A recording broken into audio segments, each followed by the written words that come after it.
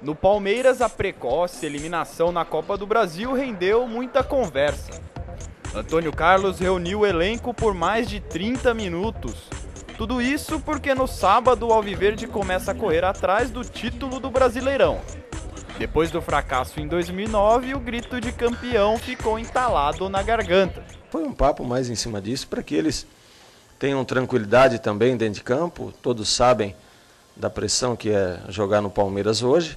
E nós temos que ter tranquilidade para jogar futebol, principalmente quando entramos dentro de campo, que são ali 11 contra 11, não dá ouvido para aquilo que a torcida vai falar, para ver se a gente começa bem o Campeonato Brasileiro.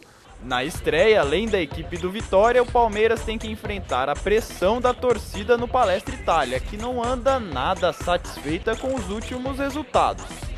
O estreante Vitor, melhor lateral direito dos últimos dois campeonatos nacionais, já está preparado para as cobranças.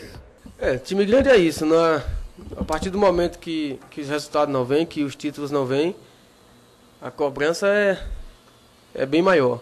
E para isso nós temos que, que se dedicar mesmo no, no dia a dia, para que as coisas positivas possam vir para o nosso lado.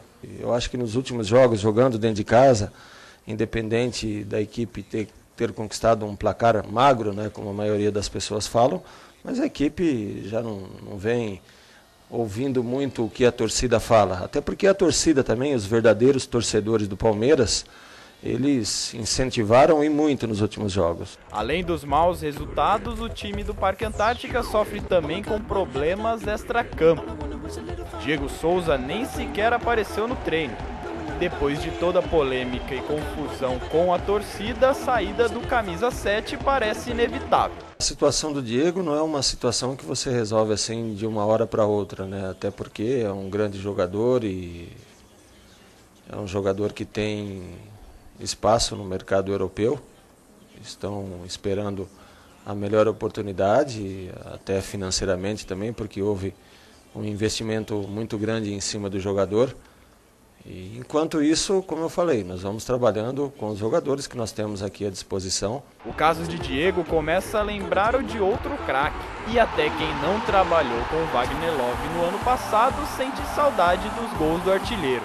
A única coisa que eu posso falar é que, vendo o Wagner Love jogar no Flamengo no último jogo contra o Corinthians, deu saudades, até porque, e olha que eu não, não tive ele como jogador, mas deu saudades porque é um dos melhores atacantes do futebol mundial. Sem Love, o Verdão tem que contar com o Robert. Se depender do desempenho no rachão, o torcedor pode ficar tranquilo.